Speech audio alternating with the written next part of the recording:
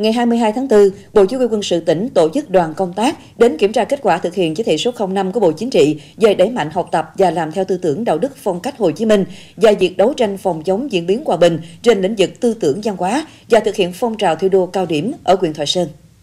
Qua kiểm tra hệ thống văn bản, sổ sách tài liệu, nhận thức của cán bộ chiến sĩ kết hợp báo cáo kết quả thực hiện về phòng chống diễn biến hòa bình, bạo loạn lật đổ của Đảng ủy quân sự huyện Thoại Sơn, đoàn kiểm tra của Bộ Chỉ huy quân sự tỉnh đã chỉ ra những điểm mạnh cần tiếp tục phát huy, triển khai nghiêm túc toàn diện, có sự lồng ghép hiệu quả với các cuộc vận động phát huy truyền thống, cống hiến tài năng, xứng danh bộ đội Cụ Hồ với các văn bản chỉ đạo hướng dẫn của ban tuyên giáo quyền ủy. Sức lan tỏa của việc làm này ngày càng sâu rộng, xuất hiện nhiều cách làm hay, mô hình điển hình tiêu biểu phát huy hệ thống truyền thanh nội bộ, tích cực đấu tranh phản biện những quan điểm sai trái xuyên tạc của các thế lực thù địch trên mạng xã hội và lựa chọn nội dung tuyên truyền làm theo bác phù hợp với khả năng đặc thù của đơn vị.